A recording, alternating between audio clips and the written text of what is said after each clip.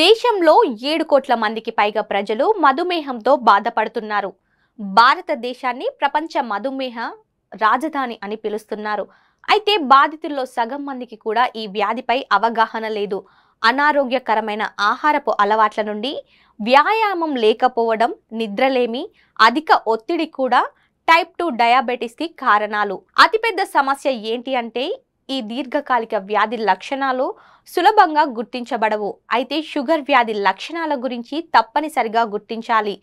రక్తంలో చక్కెర స్థాయి పెరుగుతున్నప్పుడు అలసట ఊబకాయం కాళ్ళు తిమ్మిర్లు వంటి లక్షణాలు కనిపిస్తాయి. అయితే ఇవి మాత్రమే కావు. రక్తంలో అధిక చక్కెర స్థాయిలు శరీరంలోని ఇతర అవయవాలపై కూడా ప్రభావితం చేస్తాయి.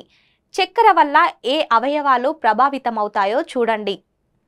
చర్మం మధుమేహ వ్యాధిగ్రస్తుల్లో చర్మ సమస్యలు చాలా సాధారణం.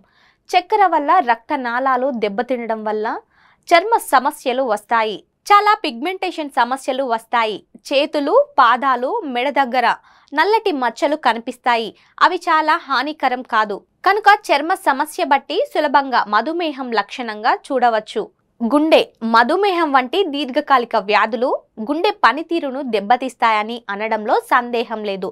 రక్తంలో చక్కెర స్థాయిలు పెరగడం వల్ల గుండెపోటు స్ట్రోక్ వంటి సంఘటనలు సంభవించవచ్చు. మీరు గుండె జబ్బుల ప్రమాదాన్ని తగ్గించుకోవాలనుకుంటే రక్తంలో చక్కెర స్థాయిలను అదుపులో ఉంచుకోవడంలో చాలా అవసరం. పాదాలు. పాదాలలో సున్నితత్వం పెరగడం తిమ్మిరి మధుమేహం లక్షణాలు అధిక రక్త చక్కెర రక్త నాళాలను ప్రభావితం చేస్తుంది. ఇది రక్త ప్రసరణకు అంతరాయం కలిగిస్తుంది. కనుక ఈ లక్షణాలు కనిపిస్తే నిర్లక్ష్యం చేయకూడదు. కళ్ళు మధుమేహంలో కంటి సమస్యలు పెరుగుతాయి. చూపు తగ్గుతుంది. అంతేకాకుండా కంటిలో శుక్లాలు వంటి సమస్యలు వస్తాయి. కొన్నిసార్లు అధిక రక్తంలో చక్కెర స్థాయిలు కారణంగా రెటీనాలోని రక్త నాళాలు దెబ్బతింటాయి. మధుమేహం వల్ల కూడా చూపు తగ్గుతుంది.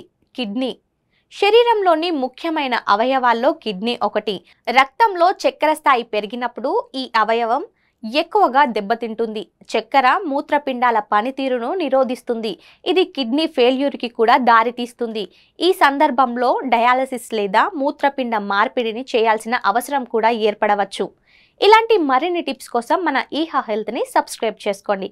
లైక్ షేర్ కమెంట్ చేయడం మాత్రం మర్చిపోకండి.